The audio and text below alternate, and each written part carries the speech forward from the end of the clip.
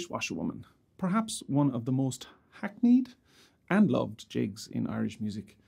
It's not 100% clear where the tune originated, the writer is unknown, and the earliest records go back to the early 1800s when this tune appeared in collections both in Scotland and Ireland almost at the same time. Like all great tunes that endure over many years and centuries, in fact, it's a very simple tune. It stands up on its own, as does any great Irish jig, and perhaps just the association with Irish or Hollywood Ireland over the years means that the Irish washerwoman perhaps to trad aficionados might not be the most palatable tune to play, but it's still a great piece of music and it's still well loved. So we're going to learn it, simple tune, and then we're going to add in ornamentation, some chords and variations, and ultimately show that even the most simple tunes can be played in very interesting and very pleasing ways, both for the player and perhaps for the listener too. As it's a very simple tune, it's lovely to play on the Irish mandolin. This one uh, made by Dave Shapiro uh, here in Ireland. I've had it for quite a long time. And this is what we call the flat iron or the paddle Irish mandolin. Let's learn the basic melody of the tune. Going to keep it really simple, nice and slow so that you can pick it up. It's in the key of G. There's nothing complicated. So here's the simple version of the Irish washerwoman.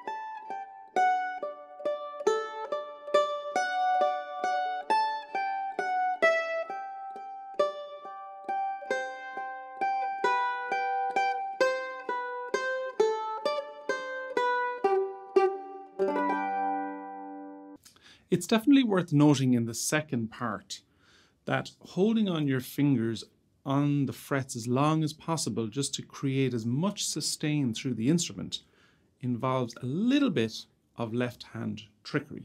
And I'll show you the piece I mean now.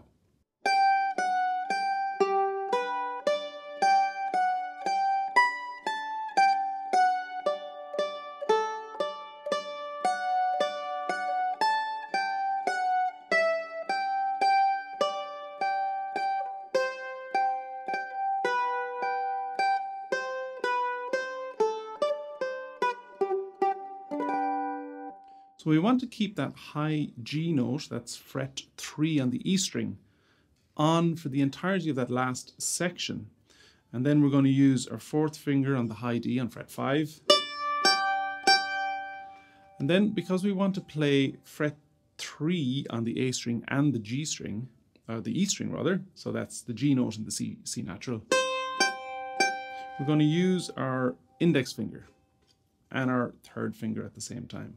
You, you can bridge it, but then you're talking about jumping off and you're not really going to hold the sustain. So you're just using your index. And I, I think because the fret size on the mandolin is a little bit smaller, that feels a lot easier on the banjo because there's just more room to move around. So with this, it's just a little bit cramped. Well, it is for my fingers anyway.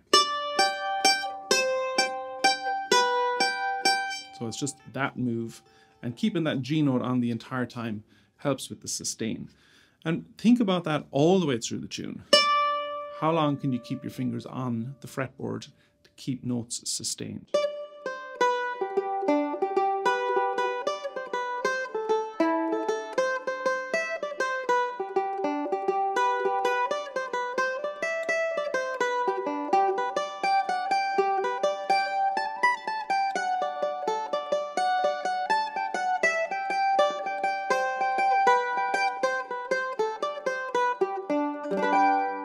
Picking is as normal, down, up, down, down, up, down, down, up, down, suffices perfectly for jigs, but you can always do down, up, down, up, down, up if you wish. The emphasis to bring out the jig rhythm, of course, is just to bring down a little bit more force on the first note of each bar.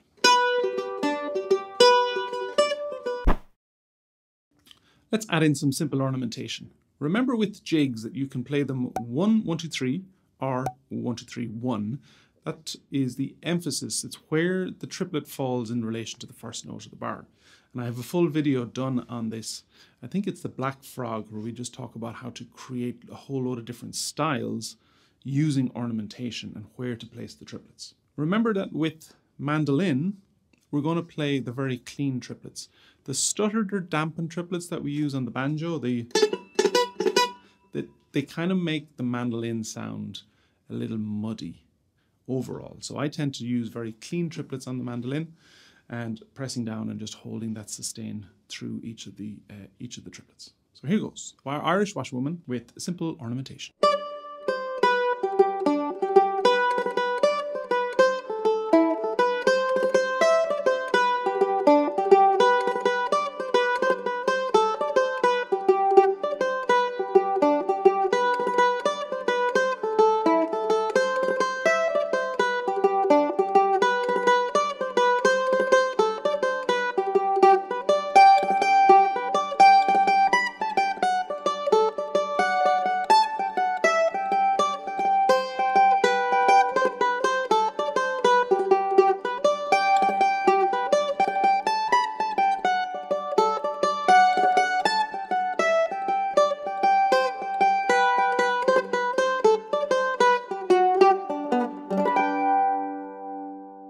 All of this, of course, is fully notated and transcribed in tab, stave, and ABCs on Patreon. And this tune works perfectly well for banjo with the very same fingering, the very same ornamentation as it does on the mandolin. I'm going to play one round of the tune now, and I'm going to use chords and harmony. It's in the key of G, so you're going to have the chords of G, C, and D. I'm going to leave out all, if not almost all, of the ornamentation, just to give you a flavour of playing the tune very simply but trying to harmonize yourself as you play the melody.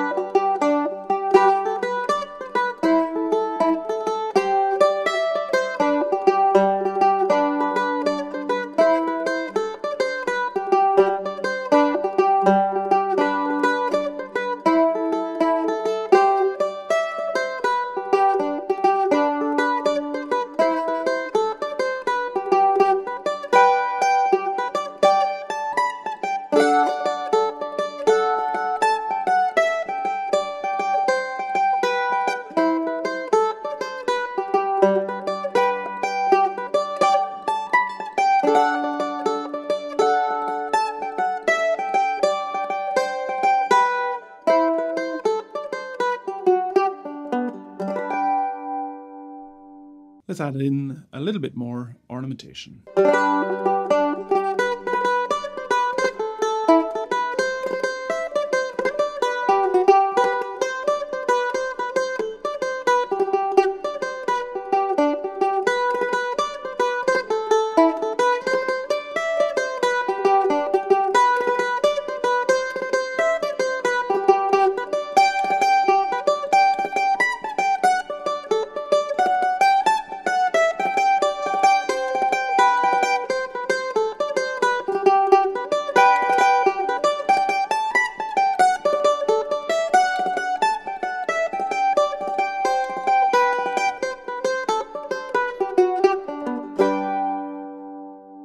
This time I'm going to add in variations, ornamentation, chords, and try and bring a little bit of stylistic interpretation to what is essentially a very simple tune.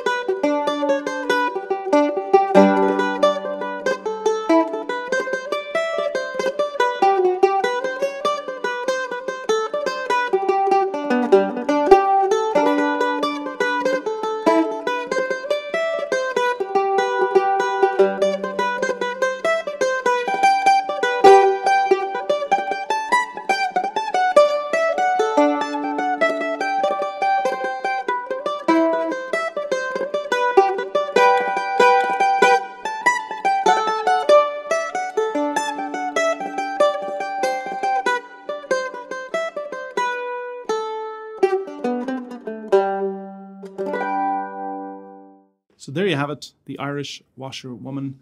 I've also created a couple of play along tracks at varying BPM so that you can practice playing at a slower speed, add in your ornamentation, and then try it at session speed. Jump in, just do it. Eventually, your body is going to adapt to the higher speeds if you push it, but you got to know the tune first. You got to have decent technique, and that's what this is all about teaching you how to do the ornamentation, pick, hold, jig rhythm, taking simple, beautiful tunes and making them into interesting pieces of music. Hope I did that with this. The Irish Washerwoman on Irish Mandolin. Again, all of this is notated PDFs, printable options, stave, tabs, the works. It's all available on Patreon. I use a website called Soundslice, which is the very best music teaching tool on the internet. Thanks for watching. If you like this video, please hit the like and subscribe button so that other people can see this kind of content